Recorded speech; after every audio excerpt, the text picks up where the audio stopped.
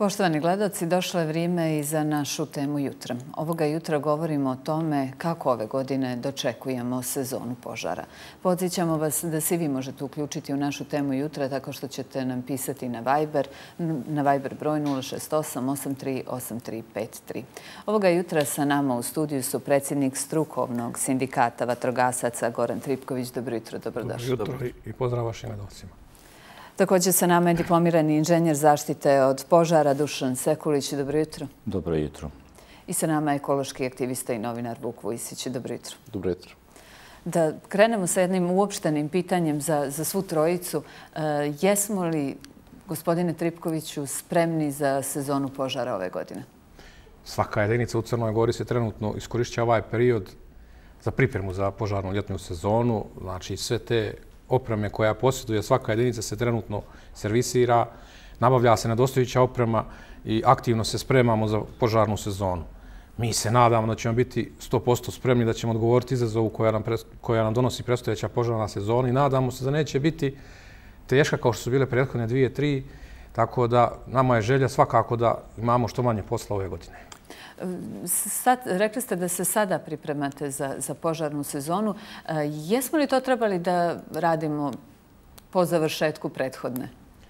Pa, u suštini, mi non stop imamo čitave godine neke aktivnosti koji se odnose na pripremu raznih dijelova požarne sezone. Naš posao se ne sastoji samo od gašanja požara na otvornom prostoru, na šumskim kompleksima, nego e, ima niz drugih, niz drugih poslova koji moramo da obavljamo. Sada je trenutak kada mi završamo, su finalni, finalne pripreme za e, završetak tih priprema za požarnu sezonu. Da li smo trebali? Sigurno jesmo. Naš sistem ima puno nedostataka koje treba ispraviti, e, nedostaje puno opreme koje se treba nabaviti i sve jedinice u državi jednostavno imaju samo tu neku osnovnu opremu koja se koriste za gašanje šumskih požara, a, ali zbog te cijene opreme koja nimalo jeftina nije, e, nemamo pomoć države, država se e, malo uključuje u nabavku te opreme, odnosno je sve prebačeno lokalne samuprave. Određene lokalne samuprave nemaju dovoljno sredstava ni za isplatu ličnih dohodaka našim vatrogascima, tako da ima puno problema, ali mi se, mi se borimo, mi se spremamo kao da je sve okej i borit ćemo se, ako dođe do požarne sezone, borit ćemo se kao i do sada, kao i svake godine, da tu požarnu sezonu učinimo što kraćom i da slika koju šaljemo u svijet, jer smo mi turistička destinacija, bude što ljepša, tako da svake godine činimo što je do nas, učimo se na greškama od prethodnih godina, da slika koja ode u svijet bude ljepša nego što je bila prethodna. Nadamo se da će tako biti e, ove godine. E, gospodine Sekuliću, e, vaš odgovor na ovo pitanje, da li spremno dočekujemo sezonu požara ove godine ili ćemo, kako reče gospodin Tripković, opet nespremno dočekati i imati možda kao prethodne dvije godine teške? Pa ja ne sumljam da će vatrogasne jedinice Crne Gore, odnosno opštinske vatrogasne jedinice u Crnoj Gore biti spremne za ovaj požarnu sezonu. Kao svake godine, oni su uvijek bile tu, spremne i na visini zadataka i često puta dajući 110% ili 150% od svojih mogućnosti. Međutim, u tom sistemu zaštite i spašavanja Crne Gore, apsolutno, oni su samo jedna karika, nažalost operativna karika koja apsolutno pomoć kad je najpotrebnija ovaj ne dobije od drugih struktura. Konkretno misli na aviohelikoptersku jedinicu zbog poznatih događaja. Ja se nadam da će ove godine avioni i helikopteri biti spremni da pomognu našim vatrogascima, jer vidjeli smo u prethodnih godina da ta karika obično zakaže, što ne bih volio da se desi ove godine. Zašto?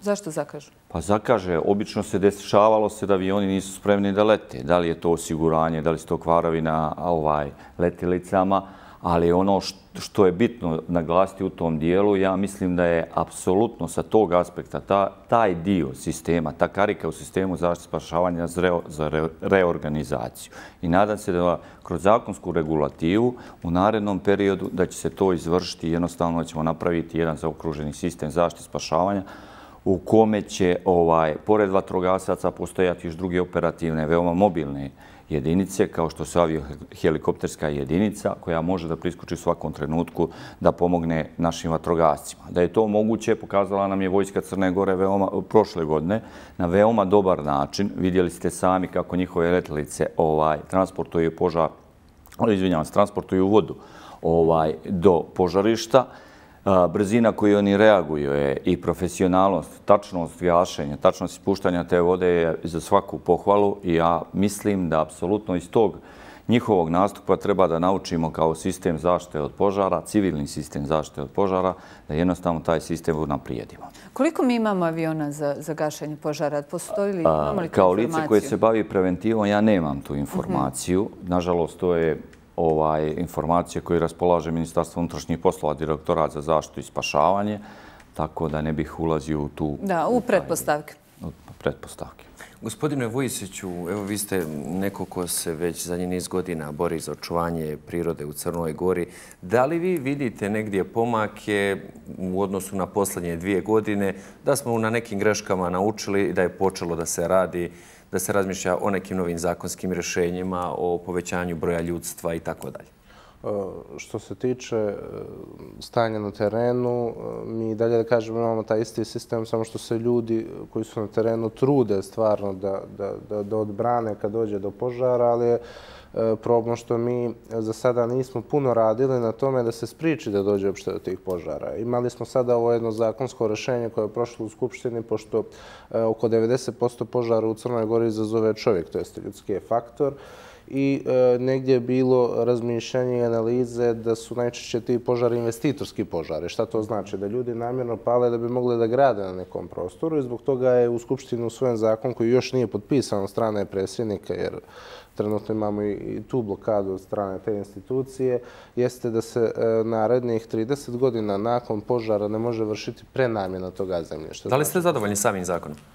E, pa taj zakon e, je stvarno može doprinijeti u tom mhm. smislu da, e, da ne dođe do te urbanizacije. To jeste sada investitori neće težiti da dođe do požara, nego će težiti da spriče taj požar na njihovim parcelama ukoliko su planirali bilo kakvu gradnju ili prenamjenu na drugačiji način. Da li smatrate da je bilo takvih slučajeva često u Crnoj Gori da je su upravo pravljeni požari od strane... Biću vrlo otvoren. Da, ne samo što su pravljeni e, požari od strane investitora gdje su željeli da grade nešto pa su mislili da će lakše dobiti e, ekološku dozvolu, to jeste e, procjen utjecaja na životnu sredinu, već da su i mnogi palili šume kako bi mogli da ih sjeću u sljedeće godine, kako bi ih dobijali, pa je onda bilo, ima dosta naravno i ljudi koji su nemarni pa kad čiste svoje imanja, zapale onaj otpad i onda često, ako, ako su sušne, da kažem, proljeće kao što je bilo prošlo, imali smo to da, da se ti požari vrlo brzo prošire, a ekipe na terenu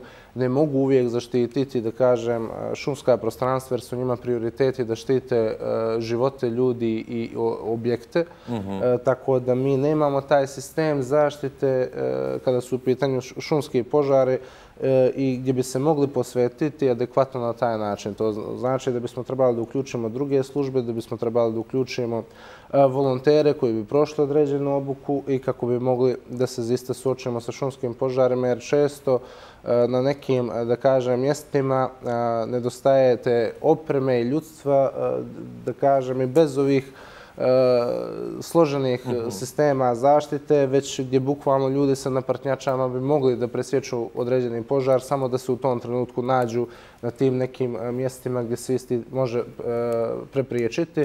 Naravno, tu je potrebna i oprema u vidu dronova da bi e, ljudi iz službe zaštite imali bolji uvid e, u sam teren. Često e, kada pričamo o šumama imamo nepreglednost, kada je guz dim i tome je slično. E, potrebno je da imaju, da kažem, podršku iz vazduha, tako da su to sve stvari koje možemo naprijediti. Također, vrlo je bitno da Crnu Goru zoniramo kada su u pitanju opasnosti od požara. Šta to znači? Eh, postoje već ljudi koji u saradnji sa agencijom rade, eh, da kažem, probnu eh, analizu određenih pojaseva, to jeste da procijene u odnosu na to koliko je padavina bilo, kakvo je rastinje, kakvi su vjetrovi, ruže vjetrova, i e, koliko se često tamo dešavaju požare, da procene koja su to mjesta u Crnoj Gori u određenom periodu najkritičnija za pojavu požara. Pa bismo onda, da kažem, e, te sisteme e, zaštite mogli rasporediti na tom prostoru. Također postoji sistem, evo sada je e, pokrenuto na Brdu Gorica, to jeste najsavremeniji softveri za učavanje rane detekcije dima, što to znači čak i obične kamere mogu da se postave na, na brdima i gdje softver javlja, prepoznaje šta je dim i automatski javlja službama zaštite i u centrali može da javi da je došlo do požara i da se na, na vrijeme djeluje. Tako da su sve to neki sistemi kojim bi trebalo pokriti Crnogoru uh -huh. i uložiti u to kako bismo mi E, E, imali adekvatnu zaštitu od požara, a ono što je najvažnije jeste i da se kaznena politika premijeni kako ne bismo više imali ljude koji pale namjerno, koji e, ili zbog nemara e, dovode do požara jer na kraju dovedu u opasnost i živote ljudi koji gase požare i živote ljudi koji se nalaze na tom prostoru i oštete jednu vrijednu imovinu. Evo ja ću podsjetiti da se procenjuje da su proteklih deceniju preko 600 e, miliona eura je šume e, stradalo u vrijednosti koje su mogli. Znači 600 miliona eura za oko malu državu. Govorimo samo o požarima, ili tako nelegalno i eksplo... Da, da, da, samo o požarima. Mhm. Gospodine Tripković, evo vi ste u vašem izlaganju upravo govorili o nekim nedostacima koji bi mogli sa kojima biste mogli ponovo da se susretnete i dotakli ste se upravo teme opremljenosti vatrogasaca. Napomenuli smo već da je nedostatak helikoptera, aviona veliki problem, ali konkretno kao vatrogascima koji idu na teren bez te vazdušne podrške, šta je po vama najveći problem? Često čujemo recimo i PP aparati, ne znam koliko je to istina, da se ne provjeravaju često. Šta biste vi ako izdvojili kao najveći problem? Kao najveći problem u svemu ovome nerazumijevanje koje dobijamo pre svega, nažalost, od građana. Građani treba da shvate da su i oni dio ovoga sistema i da oni treba da urade neki korak da lično nama pomognu. Zašto? Crna Gora je, svi dobro znamo, nekada je bila seoska zemlja, ima puno seoskih domaćištava koje su nažalost izumrla. Postoje, postoje sela u kojem nema više, nema više živih ljudi, ali postoje objekti. I svi ti objekti se vode na nekoga. I svi ti objekti su zapušteni. I kada dođe požar, taj požar, nažalost, on ne bira gdje će udariti i kada će udariti. On ide, i dolazi do objekata, kao što je vaš gost rekao Vuk, da, da mi jednostavno tada, zbog, zbog opasnosti da dođe do, do e, štete na tom objektu, prioritet dajemo tom objektu. I mi branimo taj objekat i tu šumu koja se nalazi oko tog objekta jednostavno zanemarimo, po znacima navoda. I krenemo da gasimo tu šumu tek kad odbradimo objekat u, u ljetnjim mjesecima kad je velika su, kad je velika suši, kad su vjetrovi, kad se pojave veliki vjetrovi, ti takvi postupci nama izazivaju mnogo velik, e, mnogo teškoća. Zašto? Zato što taj požar raširi i onda imamo mnogo mnogo, treba nam mnogo više vremena da isti taj požar ugasimo. Zato je apel svake godine u ovo vrijeme da, da ljudi pokušaju, svi ti koji imaju neke, neka imanja na selu, da dođu sad, kad, evo, kad prođe ove kiše, da završite makar košenje. Jer ako se pokosi, pokosi trava, taj požar neće doći do kuće. Jednostavno, mi ćemo biti relaksirani od odbrane te kuće, od odbrane te imovine i bavit ćemo se nekim drugim stvarima. Nerazumijevanje naših lokalnih lokalnih šefova po znacima navoda, odnosno gradonačelnika, da nam treba određena vrsta opreme da bi mi mogli da gasimo neki požar. Mi na sjeveru i dan danas imamo službe koje nemaju osnovnu opremu za gašanje požara, a očekuje se od njih da ugase neki požar. Šta podrazumijeva osnovna oprema za gašanje požara? Znači, treba da posjeduju odijelo, znači opremu za ličnu zaštitu. I hoćete da kažete da određene vatrogasne jedinice nemaju vatrogasno odijelo? Ima jedinica koje nemaju standardizovano vatrogasno odijelo, nego se E, na raznorazne načine dovijavaju, davaju ljudima neke kombinezone koji su u stvari radni kombinezoni koji se koriste u fabrikama i samo im napišu ili naprave etiketu i misle da su ih opremili. Ali u stvari kad taj čovjek dođe, jer požare e, ima izuzetno jako isijavanje toplote i da bi ja kao vatrogasac mogao da priđem to požar da ga efikasno ugasim, ja moram posjedujem opremu koja će mi omogućiti da dođem što bliže tome požaru da bi ja taj požar efikasnije ugasio. Ali ako ja ne mogu da dođem to požar na neku daljinu od nekih 5-10 metara, ja ne mogu ništa da uradim. Žabe, ja imam i vodu i, i prah i bilo šta, ne mogu. Rizikuju li svoje živote vatrogasci u tim Svaki, slučajevima? U svakoj intervenciji vatrogasac rizikuje svoj život. Rađene su razna ispitivanja u svijetu i, i naše zanimanje svrstano u broj dva, broj dva zanimanje po riziku i stresu i opasnosti koje preživljavaju posle ali, pilota. Ali čini se, tek kada dođemo do požara, tek se govori o vatrogascima, uvijek se govori o policiji, o vojsci, a vi dođete u suštini ta dva, tri dana kao heroji kada dođemo do požara i prestane se sva priča. To je priča koja nas prati od, od, od početka, od kad se ja počeo da radim ovaj posao prije 20 godina, ista priča svake godine. Kad se deše neke takve stvari, obio je po, po zemljotresu u Turskoj, otišli su naši vatrogasci tamo, pisali se nama nedlju dana, dati su nam velika obećanja, sva sto obećanja napisana na papirju, tada ništa. Znači, Turska završena, završeno, završeno, bilo kakva priča o nama. Sad će nama požarna sezona, ja se nadam, ja su Boga nadam da nas nećete pominjati, jer će biti dobro i nama. Nadam se će biti ljeto kišovitije nego što je bilo prošle godine, da mi neće imati, neće imati posla, ali pošto je ova godina reper 2014. a 2014. godina je bila isto ovako kišovita, dobro se sjeća, tada su bile velike poplave u Srbiji, tada nam je godina bila izuzetno teška. Zašto? Zato što je zbog posle velike kiše priroda će nabuja. Mi ćemo da imamo ogromnu količinu novog gorivog materijala. I ako dođe naglog početka nagle toplote, odnosno glavnog sušenja, ta zemlja, ta, ta biomasa će vrlo brzo postati gorivo i mi ćemo imati velikih problema. Nadamo se, opet kaže, nadamo se, nećemo imati, da ćemo imati sreće ove godine i da ćemo imati malko, makar malko blaže ljeto i da neće imati problema što se tiče požara na otvornom prostoru, ali se spremamo kao da je ono što kaže, kao da dolazi najgora mogaoća godina, sa svima sam u kontaktu, pokušavamo između sebe da se pomognemo sve jedinice. Neke jedinice su bogatije, imaju više, više opreme i daju, daju kolegama na sjeveru. To je zadnjih nekoliko godina bas postala praksa tako da se nadamo da ćemo ove godine uspjeti da premostimo uh -huh. sve one nedostatke koji su uočeni u prethodnom periodu. Tako da, opet kaže, nadam se da će ova sezona biti mnogo bolja nego što su bili prethodne. Još jedno kratko pitanje za vas prije nego što, što se uključimo i gospodina e, Sekulića. Kad kažete lokalnim samupravama da vi imate taj problem i da to nisu adekvatno odijela i da vi nemate adekvatnu opremu i da ugrožavate rizikujete svoje živote svaki put kad izađete na teren da gasite požare, kakav odgovor dobijete? Pa, uglavnom i odgovor u tome je u planiranju sredstava, odnosno u novcu. Znači, ovo dijelo koje ja nosim košta 1000 eura i vi kad dođete kod naše gradonačite kažete da mu je ovo dijelo 1000 eura, on veli, kako je to dijelo? Zašto košta toliko? Znači, e, ne mogu da ljudi shvate, znači, naš sistem kompletan ne razumije problematiku zaštite od požara. Ne razumije. Jednostavno je zadnjih 20-30 godina problematika zaštite od požara gurnuta na neku drugu stranu.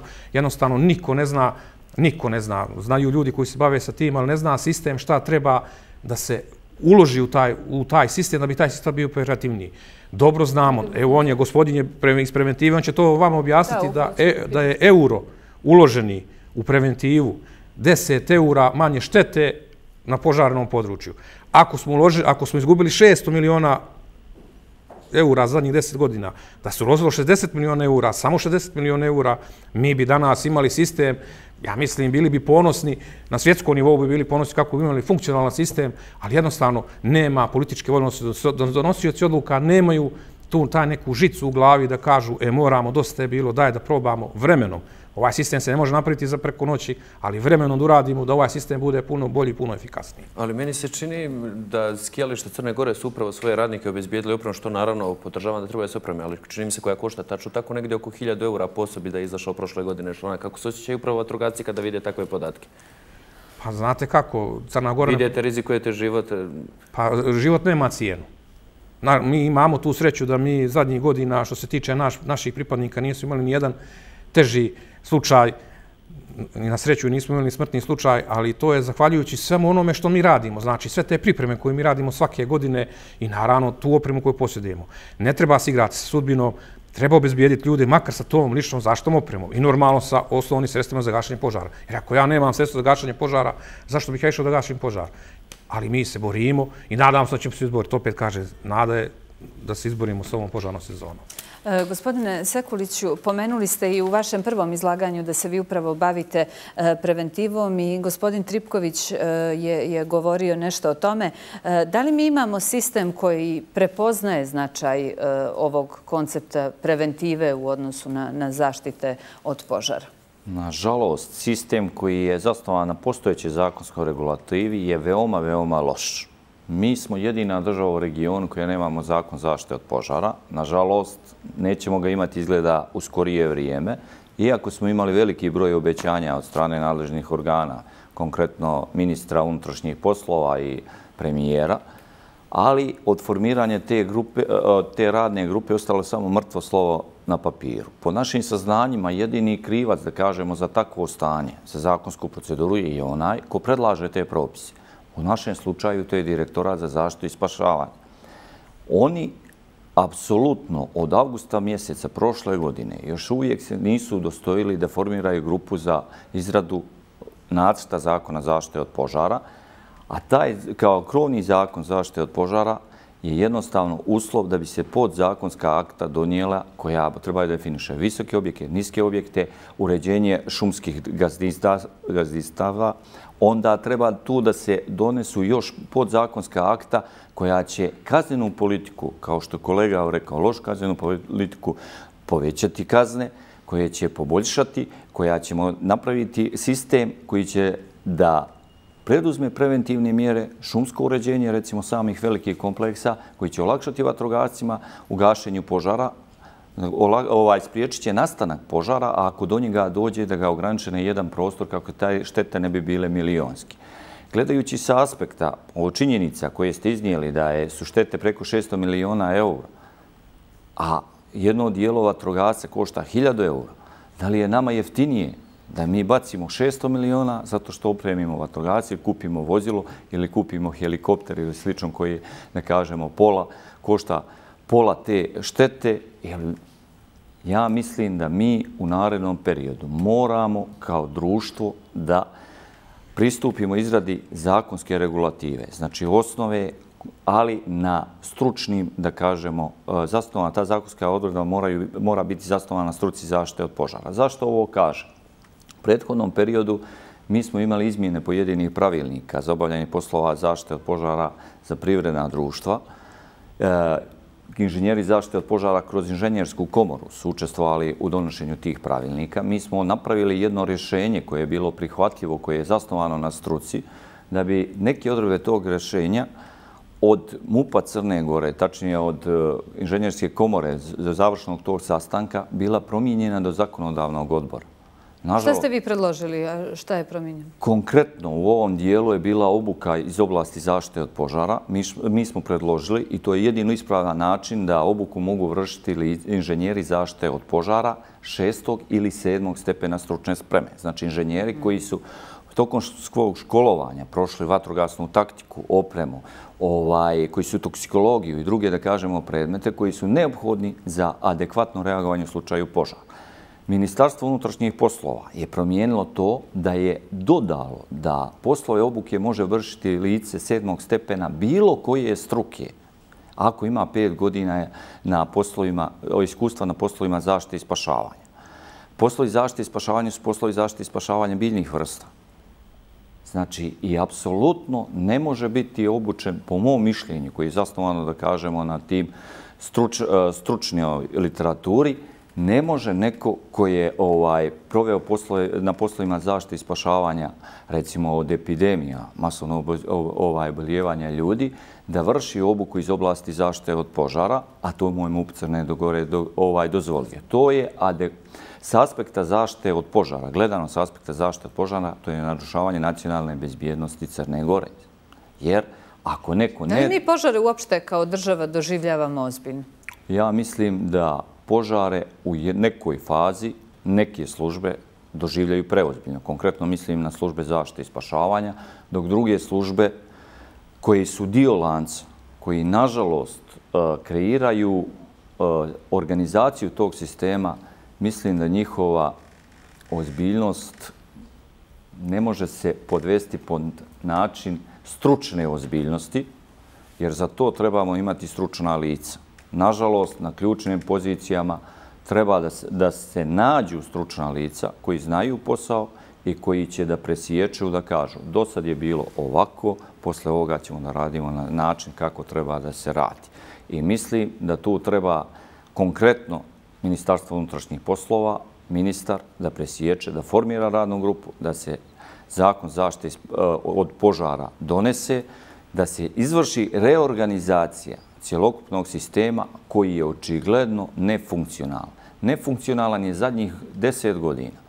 I mi uporno iz godine u godinu nastavljamo od sezone do sezone. I samo gasimo požare. Mi samo gasimo požare, preventivom se ne bavimo. Ja ovdje ne pominjem poplave, ne pominjem zemljotrese. Jer jednostavno smo ovdje tema i zašta od požara. Ja sam inženjer zaštite od požara, nisam adekvatno obučen za te stvari. Ali ako ja kao inženjer zaštite od požara položen stručni ispit koji je najčešće iz oblasti zemljotresa, ja dobijam pravo da izrađujem procjenu rizika i da izrađujem preduzetne planove zaštite i spašavanja od epidemija, epizotija, epifitotija, od ovaj poplava i drugih, da kažem, akcidenata. Zašto mene apsolutno nije, matični fakultet nije obuči. Obuči. Apsolutno. Ja čak sa jednog aspekta gledano krivičnog zakonika i meni se dozvoljava da ja vršim nadriljekarstvo.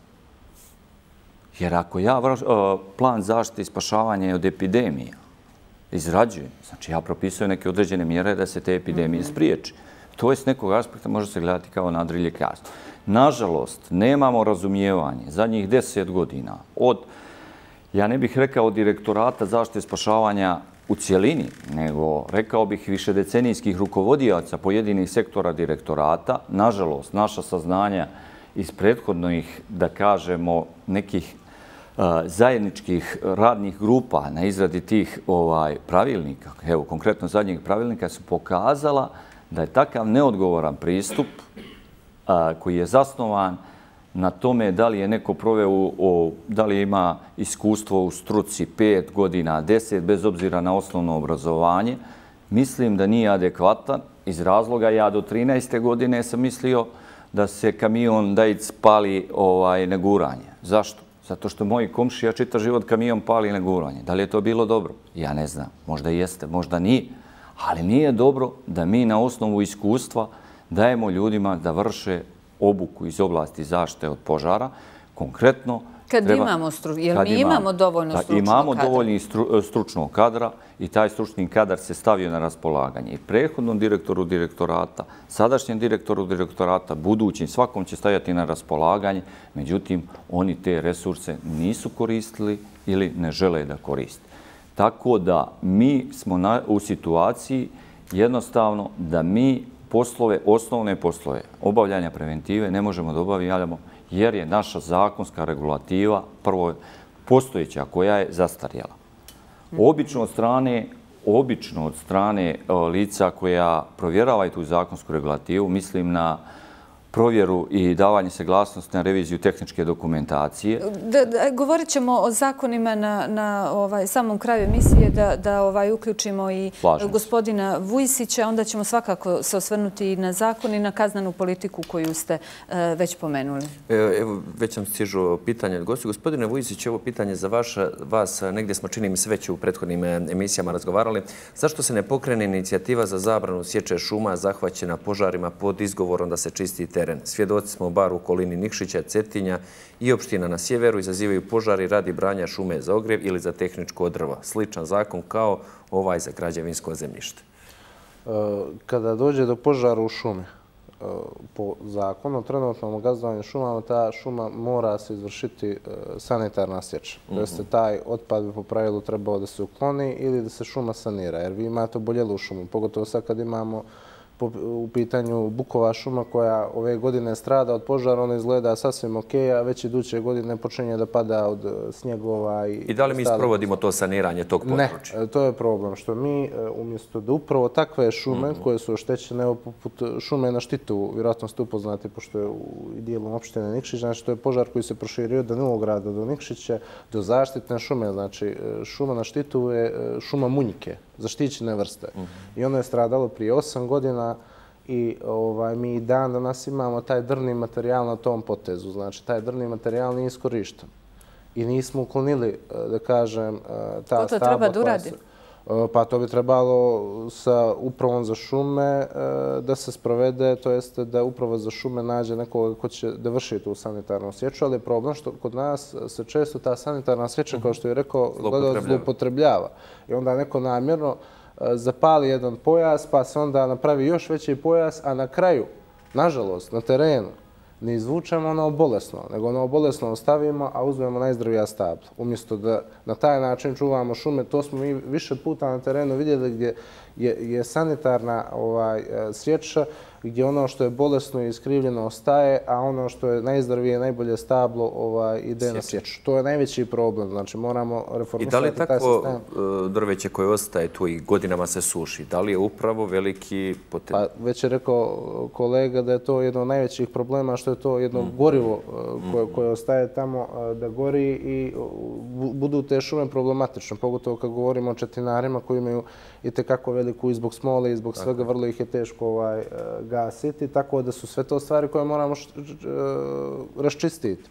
Također, mi imamo samo u tim, u tom drvnoj masi bi bilo dovoljno za cijelu Crnu Goru da pravimo pelet od toga i tome je slično, znači da, da, da, da odradimo ono što je dobro za šume, ono što je dobro za zaštitu od požara, a također po pravilu bi trebalo da se prave i protiv požarni uh, prolazi, to jeste da se šume održavaju na taj način, pogotovo u, kad imamo u vidu da nas čekaju klimatske promjene, će stanje biti sve gore i gore, Znači da ćemo imati vjerovatno jače padavine u proljeće, da ćemo imati sve više, više sušnih ljeta, pa će vegetacija biti kao što je kolega rekao, tako da su sve to stvari na koje moramo razmišljati da na taj način gazdujemo šumama kako bismo omogućili da spričemo požare na vrijeme i kako bi ne bi bilo Uh, više da u Crnoj Gori, eh, otišli u šumu, mi više ne možemo tu ništa da radimo. Jer mi smo u Crnoj Gori prosto u protekli godina tako nekako navikli na požare kao da nam je svakodnevnica. Ok nam je da svake godine gore hektari i hektari šuma, jer prosto mi se nalazimo u Crnoj Gori i nemamo dovoljno ovaj, srstava da, da iste ugasimo, a mislim da bismo kao ekološka uh, država,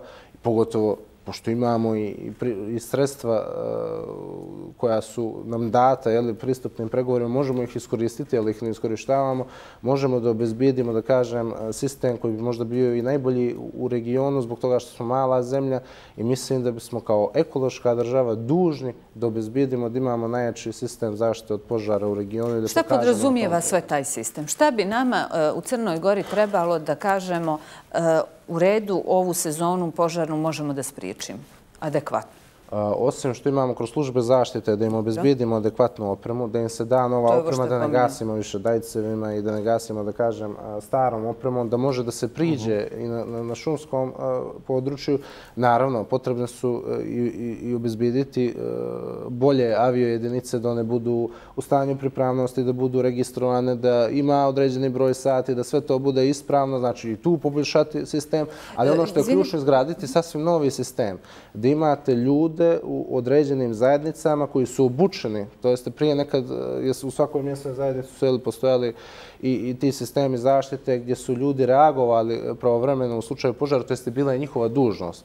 Taj sistem treba izgraditi i da ostale službe u tom trenutku pomognu. Zašto ne bi vojska, naravno, zajedno, ukoliko bi prošla tu obuku, e, izlazila na teren i gasila požare u tim trenucima, jer e, to je, da kažem, vanredna okolnost. To nije nešto što je eh, požar sasvim ok kad imamo te šumske požare, pogotovo na primorju, jer mi smo turistička mhm, zemlja, sve mhm. nam zavisi od toga, moramo čuvati to, to, to, to blago i, i, i, i braniti se od požara, jer u suprotnom gubimo onaj prefiks da smo ekološka država ako nismo sposobni da se izborimo sa tem. E, nemamo još puno vremena da, da ovaj posljednji krug pitanja ostavimo upravo za zakonsku regulativu koju ste vi pomenuli, e, gospodine Sekuliću. Gospodine Tripkoviću, kako vi komentarišete zakonsku regulativu u oblasti zaštite od požara? Koliko je dobar naš zakon o zaštiti i spašavanju i e, kakva je njegova primjena u praksi? Pa, vi ste svjedoci, gledalci svjedoci da mi, sindikat u kojem sam ja predsjednik, da kolege, vatrogasci, već zadnjih 10-15 godina uporno pokušavamo da pokrenemo neke stvari, jer je dosadašnja praksa, sistem koji trenutno vlada u Crnoj Gori pokazao puno manjkavosti, puno nelogičnosti, koje na terenu, kad se pojave neke velike veliki požari, velike nesreće, pokazuju sve svoje manjkavosti. Sve su to stvari koje mi redovno govorimo našim donosiocima odluka. Mi smo 26. oktobra bili upravo zbog to ispred zgrade vlade kod ministra Hadžića, kod premijera Dritana Bazovića, gdje su oni javno pred svima nama rekli da je od sutra počinje ispravljanje sistemskih uočenih, sistemskih grešaka. I šta su ispravili do danas? To je samo ostalo ta priča 26. oktobra od ta do dana današnjeg. Ništa nije urađeno onome što nam je obećano. Obećana će biti napravljena radna grupa koja će da sagleda čitav čitav sistem ovakav kakav je. To, tu bi grupu sačunjavali ljudi koji su iz, ove, iz ovih struka, svih oblasti, da naprave e, predlog šta bi trebalo da su rade. Mi imamo takav stav da treba da se kompletno sistem reorganizuje, odnosno da se donesu neophodna zakonska rješenja. Trenutni zakon o zaštiti i spašavanju je uh, miks više zakona, uh -huh. gdje u okolnim državama su, su sve to posebni zakoni, a kod nas je zakono, zakonopisac napisao to u jednom zakonu. I tu dolazi do pre, uh, E, nejasnoća, korisnik nejasnoća, kako ja tako kažem, gdje se ne zna čija je uloga, šta ko treba da radi i koja je odgovornost. I kada dođe do, da se dođe do toga da se mora riješiti neki problem, jednostavno se taj problem prebača iz institucije instituciju, ta na kraju nije šuma. Nije nadležnost, je li to Bukvalno tako se nađe neka, neki zari gdje kaže da nije njihova nadležnost i na kraju ta šuma strada, na kraju ta slika koju neko šalje iz Crne Gore nije lijepa, ne vidi se zeleno, nego se vidi narađasta boja požara. Sve su to stvari koji taj sistem prouzokuje. Nažalost, taj sistem prouzokuje. Znači, mi smo u tom, u tom nekom nekoj priči da treba da se formira radna grupa, treba da se donese zakon o zaštitu požara, treba da se donese zakon o vatrogascima, treba da se donese zakon o zaštiti šuma, treba da se donese zakon o dobrim vatrogasnim društvima, treba da se donese x drugih zakona koji bi doprijeli da ovaj sistem cjelokupan bude puno efikasniji. Jer ako ćemo mi da gubimo na svako 10 godina 600 miliona eura, dokle ćemo stići? I šta ćemo postići? Kaznena politika? E, pa kaznena politika... Pa kaznena politika je jedna, jedna, je, trebala bi da bude jedna stavka koja bi trebala da pomogne da se ovo riješi. Nažalost, mi u Crnoj Gori nemamo ko da nam napiše kaznu. Ja kao, kao pojedinac mogu bukvalno da radim šta hoću, šta želim, jer nema ko da dođe kod mene da kaže, alo, stani malo, ozbilji se, šradiš ti, da me upozori, nema. Mi nemamo inspektora zaštite od požara, u stvari imamo, ali to su na, na pola ove ruke, na pola ove ruke stanu. Ta tri čovjeka, eto, tri ih imaju, ne mogu da odrade posao koji je do njih. Oni bi trebalo, krenu od vrha, dođu u vatrogasu jedinicu Nikšić, kažu, nemate toga, toga, toga, vaš komandir ne radi to kako treba, imate toliko i toliko vremena da to ispravite. Ukoliko ne odradite, ide kazna kazna su novčane, zatvorske, nebitno kakve su, ali takvim pristupom, takvim, da kažem, da načeramo ljude da svate da treba da rade neke osnovne stvari da bi mi zaštitili sebe od požara je jedini put koji mi treba da uradimo. Da li je sad zapošljavanje inspektora? Mislim da nije. Zašto? Zato što mi ne možemo nabaviti toliki broj inspektora jer mi trebamo da uradimo neke druge reorganizacijone sisteme kao što su kolege pričali. Ali možda ne bi ni trebali inspektori. Pa onda možda ne bi ni trebali, ali to treba suvede sistemski da se riješi da bi nama svima bilo bolje. Gospodine Sekuliću, e, vaš komentar sad možemo malo detaljnije da, da razgovaramo o zakonu o zaštiti i spašavanju i njegovoj primjeni i možda i vide se osvrnete upravo na to e, koliki je problem što mi nemamo e, požarne inspektore i što nemamo adekvatnu kaznenu politiku. Pa da vam kažem, zakon zaštite i spašavanja koji je trenutno važeći, koji je oblast zaštite od požara, ovaj, uređuje jedan dio zaštite od požara, je neefikasan. Odmah da vam kažem, odmah u startu, Mi bez zakona zaštite od požara ne možemo imati efikasnu preventivu, ne možemo zavesti, da kažemo, šumski red. Ono što je potrebno za šumama Crne Gore nije neka nauka i tehnika. To je rađeno u 70. godina. Na području opštine Pljevlja šumski kompleks je presječen putevima. Napravljeni su e, požarni sektori. Tako ako u jednom požarnom sektoru ovaj, krene požar, on neće se prenijeti na drugi. Znači, neki šumski red je urađen i treba da se održava taj šumski red. Ono što nama fali, fali nam zakonska regulativa, da se propiše ko će u tom lancu, u tom sistemu zaštite i spašavanja da uradi, napravi taj šumski red, ko će biti odgovoran, ko će prvi da, kažemo, izvrši to gašenje početnih požara. Početnih požar može se ugasiti jedno na, na prtnječom, ali ako taj početni požar traje više, duže od pet minuta, on prelazi u neku razvojnu fazu koju posle ne možemo, avijacija ne može ugasiti. Znači, mi moramo da jednostavno preduzmemo preventivne mjere i moramo da donesemo zakonsku regulativu. Nemamo adekvatne sagovornike u Ministarstvu unutrašnjih poslova. Da imamo adekvatne saradnike u tom dijelu, mi bi do sad te zakone donijeli. Zašto? Zašto mi stojimo u mjestu zadnjih deset godina, meni to nije jasno. Što se tiče inspektora zaštite od požara, oni su samo jedna karika u lancu koja je represivna karika u lancu. Njima, e, njima su ruke vezane zakonskom regulativom koja ne postoji. Dalje, inspektor koji izađe na objekat, izlazi na objekat koji je već izgrađen, koji je dobio požarnu saglasnost na revidovanu tehničku dokumentaciju. Da li je na tom, da li su na tom objektu primjenjene sve mjere zaštite od požara ili je vršeno selektivna primjena tih propisa, važećih propisa. Prema našim saznanjima, koliko mi gledamo neki propisi koji su zastarijeni. nažalost, od strane samih ovaj, pripadnika direktorata za zaštitu i spašavanje, tumače se kako kad i kako kome. Konkretno mislim na dio koji se odnosi na reviziju, odnosno na, na kontrolu tehničke dokumentacije. Ne može jedno pravilo da važi za jednu benzinsku pumpu, da se neka rastojanja ovaj bezbjednostna poštuju, a druga benzinska pumpa ta rastojanja ne poštuje. Da li je postoji opasnost u tom dijelu? Naravno da postoji. Ne samo na, zbog radnika koji radi na tim pumpama, nego svih nas koji smo korisnici tih benzinskih stanica. Ono što bi mi kao društvo trebali da uradimo i mediji da podignemo građanima svijest o opasnosti od požara. Nama neko može da strada. Hrvatska je tek donijela zakone kad su je stradali vatrogaci na otvorenom području. Požaru koji je bio na otvorenom području. Da li mi trebamo da idemo njihovim stopama? Da li mi treba da čekamo da, nam neko strada? Ili da nam upravo oni budu primjer? Tako je, da naučimo iz... Ja mislim da je ovo veoma urgentno pitanje koje je trebalo, trebalo da se riješi prije pet godina. Nažalost, umjesto da se mi bavimo sad, da se bave stručnjaci zaštite od požara na nekim novim tehnologijama, na primjenu dronova za gašenje požara, za izviđanje požara, termovizijskih kamera, da razvijamo dojavu požara na šupskim kompleksima, da jednostavno omogućimo brzu detekciju požara, da ga gasimo u početnoj fazi, da naše štete ne budu minimalne. Mi se bavimo time što nam vatrogasci nemaju ni opremu adekvatno. Mi se bavimo, vatrogasci nemaju adekvatnu opremu. A, pričamo što smo trebali da uradimo, mi smo prodali Kanadere, što je najgore, mi nemamo nijedan avion, ili tako? Samo pravo? Da vam kažem, Kanadere smo prodali, Imamo i druge alternative. Ne moramo kupiti Kanader, možemo kupiti deset helikoptera. Vojska nam je očitala lekciju kako se gasi helikopter. Je li tu velika cijenovna razlika i mogu li biti adekvatna zamjena po vašem mišljenju u, u, obavljanju i sprečavanju požara?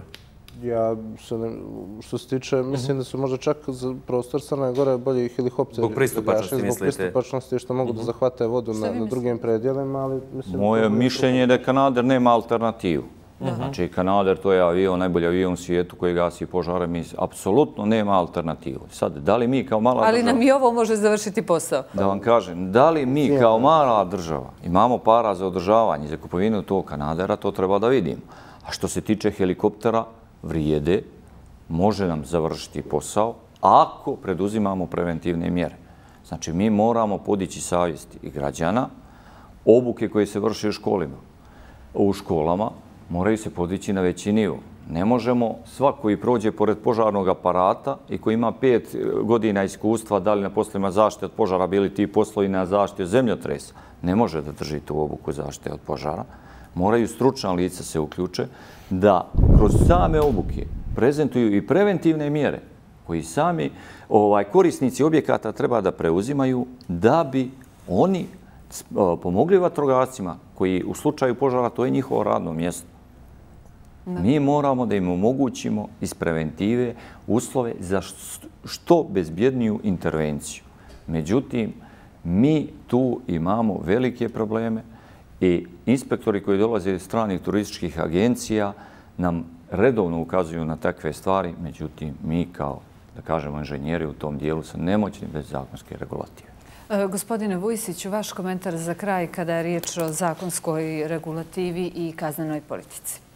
Pa, ja bih se usaglasio sa e, kolegom da tu treba i takako mnogo raditi iz razloga što mi e, sada nemamo, mislim imamo neke zakonske mogućnosti da kaznemo neko koji je izazvao požar i koji je ugrozio da kažem, živote ljudi, ali ono što je ključno jeste da bi se ove preventivne mjere poštovale potrebno na taj zakon iz razloga što mi imamo stanje, kao što je prije rečeno, da su nam zapuštene imanja, da neko može e, na kraju kad pokosi tu travu da je ne zapali na ivici imanja, pa ga boli briga šta će biti sa šumom. Jer najčešće su požare na mhm. sjeveru upravo u sezona čišćenja. I prošle godine nismo imali, imali smo sušno e, proljeće i zbog toga smo imali velike požare na sjeveru samo zbog toga što su čišćenje manje. Znači da poželimo da ova kiša traje? Ne, ne možemo se uvijek moliti kiši i čekati kišu, nego je ključno da počinjamo da kažnjavamo ljude koji pale na otvorenom, koji ne rade to na zakonski propisan način, koji ne bezbeđuju požar i da konačno imamo ljude koji će biti u zatvoru. Evo imali smo, na primjer, na slučaju Gorice, koji je odgovarao za sve one požare. Koga smo to uhvatili? Mislim da često u Crnoj Gori, pogotovo organi koji bi trebali da sprovode zakoni, represivni organi, ne gledaju na nešto veliko, kad kažu, ah, zapalio je vatru, zapalio je požar. U suštini desila se ogromna šteta, potencijalno su ugrožene mnogi živote bili i na kraju svaki izlazak vatrogasaca je potencijalno ugrožavanje njihovog života i zbog toga bilo onaj ko je zapalio vatru ovaj, treba da odgovara zbog toga. I plus velika ne samo šteta koja se desi prilikom požara, no mi i tekako ulažemo resurse kako bi se ugasio taj požar. Znači sve to treba da ode na naplatu onome koje je ovaj, podmetno požar. Tako da svakako zakoni bi trebali da budu bolji. Opet je ovo vezano za zaštitu za šume. Tu bi trebalo i dovesti da kažem, e, uskladiti to sa e, nadolazećim klimatskim promjenama koje nam slijede. Znači, to uopšte više nije za igru i ne možemo uvijek očekivati da će nas kiša spasiti kada su veliki požari u pitanju, jer prosto dolaze vrijeme kada će biti dugi sušni periodi, a ovako e, veće padavine u jednom zgusnutom periodu, tako da moramo se pripremiti na to i kao ekološka država konačno stati na kraj ovim nedostacima koje imamo, a i tekako ih je mnogo. Nadam se da ćemo sljedeći put kad se vidimo govoriti o malo ljepšim temama i malo pripremeljenijoj. Možda ovaj, komentarisati novi dobar zakon. Tako je. Gospodo, hvala vam puno što ste ovoga jutra bili sa nama. Hvala vam. Hvala na ljepše. Poštovani gledaci, pravimo kratku pauzu, onda još jednom slušamo vijesti jutra.